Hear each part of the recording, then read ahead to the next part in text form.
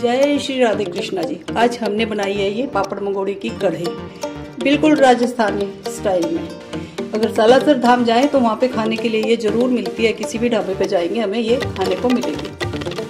खाने में बड़ी टेस्टी है। आइए देखते हैं कि ये कैसे हमने बनाई है। कढ़ी बनाने के लिए हमने ये साढ़े तीन सौ ग्राम के आसपास दूध की दही जमा के रखी हुई है।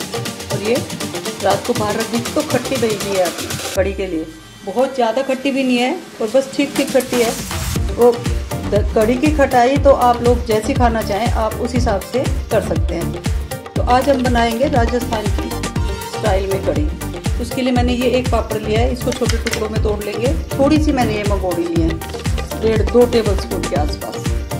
दही में आधा छोटी चम्मच हल्दी, एक छोटी चम्मच सवादन स्वाद अनुसार मिर्च आधा छोटा चम्मच डालिए। स्वाद अनुसार नमक आधा छोटा चम्मच डाला है। इन सबको मदानी के अच्छे से मिला लेंगे।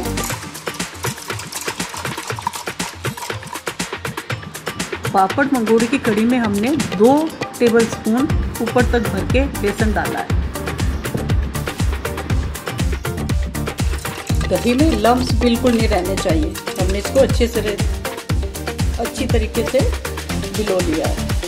गैस पे पैन रख दिया है। और इसमें हम घी डालेंगे। ये मैंने डेढ़ टेबल स्पून के आसपास घी डाला है।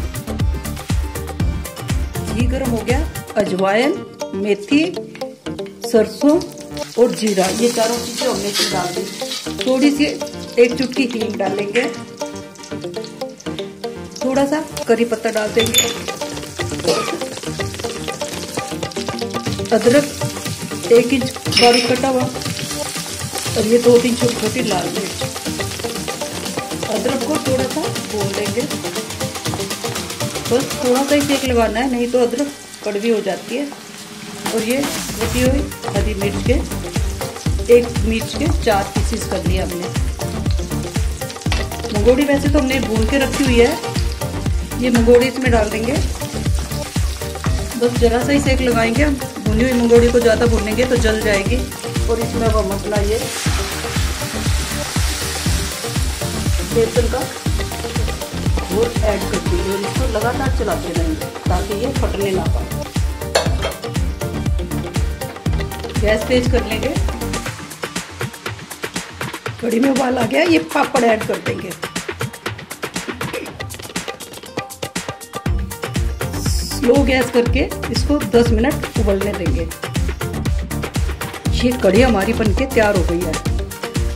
इसमें पापड़ और बड़ी हमने डाले हैं तो इसमें हमने बेसन थोड़ा सा ही डाला था। बहुत ज़्यादा बेसन की इस कढ़ी में ज़रूरत नहीं होती, क्योंकि पापड़ और मंगोड़ी इसके साथ डले हुए हैं।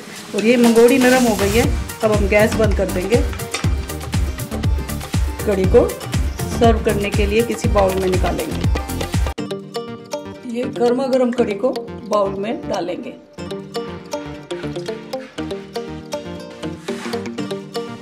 थोड़ा सा धनिया डाल के मिला देंगे। गैस पे हमने थोड़ा सा घी गर्म होना रख दिया है। इस घी में हम ये एक लाल मिर्च और ये एक तेज पत्ता डाल देंगे। गैस बंद कर देंगे। इस घी में कश्मीरी लाल मिर्च डालेंगे आधा चम्मच मिला के और इसको कड़ी के ऊपर डाल देंगे छोड़ कड़ी का टेस्ट ही बदल जाएगा। थोड़ा सा ऊपर से हरा धनिया दोबारा से डाल देंगे। ऊपर से डले हुए हरे धनिया की तो खुशबू अलग से आएगी। ये हमारी कड़ी बिल्कुल तैयार हो गई है राजस्थानी स्टाइल। मंगोड़ी पापड़ की कड़ी अगर आपको ये वीडियो अच्छा लगे तो आप इसे लाइक कीजिए, चैनल को सब्सक्राइब कीजिए। फिर मिलते हैं किसी नए अंदाज में। देखने के लिए धन्यवाद।